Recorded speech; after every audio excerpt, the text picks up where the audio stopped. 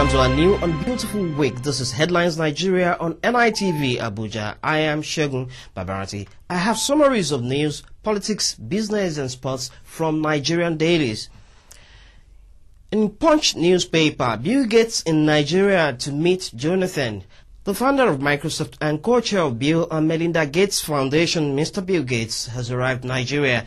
Gates has already visited Kano where he held talks with Governor Ibrahim Shekarau, the Emir of Kano, Alhaji Ado local government chairman, and other traditional leaders in respect of the progress made in stemming the spread of the polio virus in the country. He is expected in Abuja on Monday, that's today, where he will also hold talks with President Goodluck Jonathan and health officials. 21,000 Nigerians working in Italy. The Italian ambassador to Nigeria, Mr. Roberto Colamin, has said that no fewer than 21,000 Nigerians are currently working in Italy. According to Reuters, Colamin gave the figure in Abuja at the weekend during the celebration of Italy's National Day. And ThisDay's newspaper, FG cancels Abuja second runway project. The controversial Abuja Airport second runway contract awarded to Julius Berger Nigeria PLC has been cancelled by the federal government.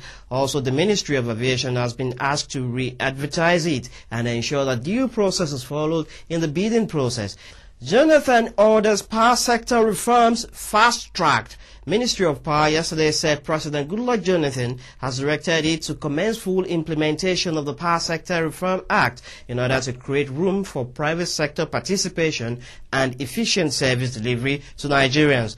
The President's charge came just as the average national power generation by the power holding company of Nigeria hovered at 3,760 megawatts with an off-peak of 3,250 megawatts as of last Friday. El-Rufai Modibo Aliero allocated 18,445 plots. Chairman of the Ministerial Committee on Repositioning Land Administration, FCT, Senator Saidu Dansadau said weekend that three former ministers of the Federal Capital Territory, Malam Nasir El-Rufai, Ali Modibo, and Umar Adamu Aliero, jointly allocated a total of 18,445 plots of land from January 1, 2007 to April 2010. Fresh controversy trails Constitution Amendment.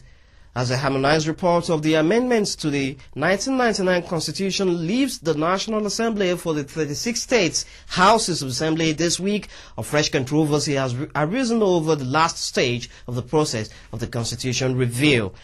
And in Vanguard newspaper, two Uniport students killed over a hundred naira dead Two students of University of Port Harcourt, River State were killed on the school campus during a fight with members of Man O' War following a disagreement over 100 naira to complete the full payment of a cell phone allegedly sold to one of the students by a Man O' War member.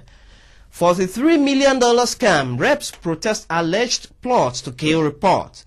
The House of Representatives Committee on Public Procurement is apprehensive that a damning report by its committee against Total Upstream Nigeria Limited, which was laid on the floor of the House on 17 December 2009, is singled out for the trash can. Now we go to politics in Vanguard newspaper. Obasanjo backs Jonathan for 2011.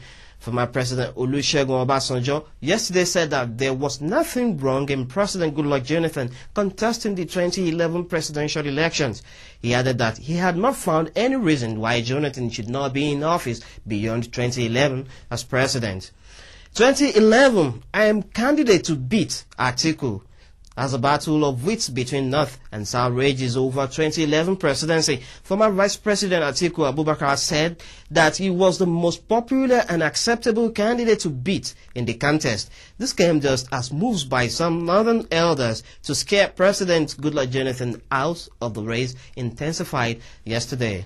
And in Punch newspaper, PDP presidential candidates may emerge October 20. There are plans by the People's Democratic Party to ensure that its presidential candidate emerged on October 20, 2010. A top party source said that the party was favorably disposed to a proposal by the PDP reform group that the party's candidate should emerge early in order for him to have enough time for electioneering. When we move over to business news, Punch newspaper, more Indian telecoms eye investment in Nigeria. There are indications that the Nigerian telecoms industry may experience an upsurge in investments by Indian telecoms in the coming months. This assumption, according to experts, is premised on the full representation of the Indian government telecoms operators and telecoms export promotion council at the recently concluded West African Information and Communications Technology Congress and Exhibition in Lagos.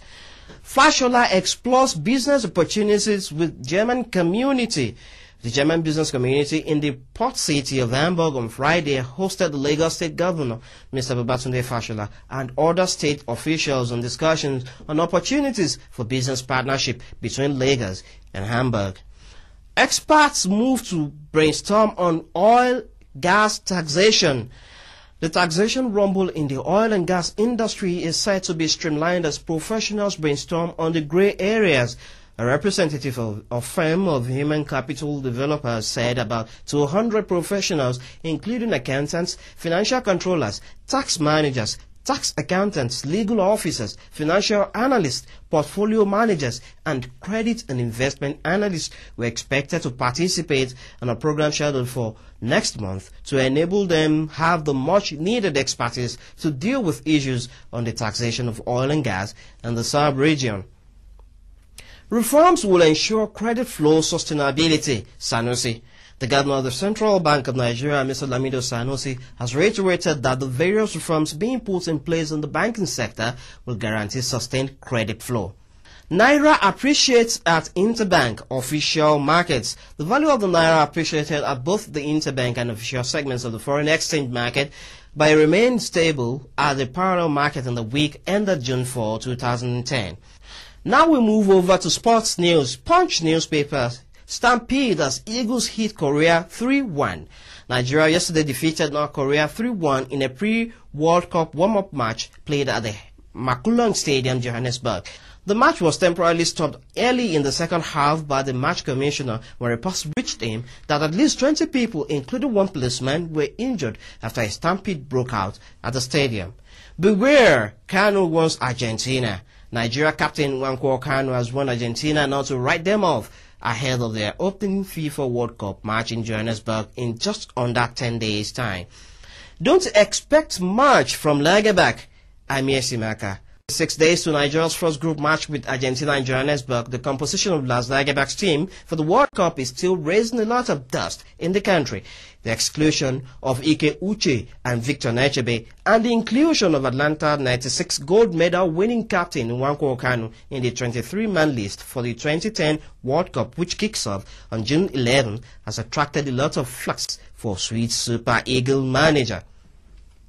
Eagles will miss Mikel Ekpo the former Green Eagles midfielder Friday Ekwas lamented the inability of Mikel Obi to be at the World Cup due to his knee injury, saying the Chelsea midfielder will be greatly missed at the tournament. Mikel could not recover fully from his injury since joining the team two weeks ago after it was reported that his club's medical team certified him not fit for the World Cup.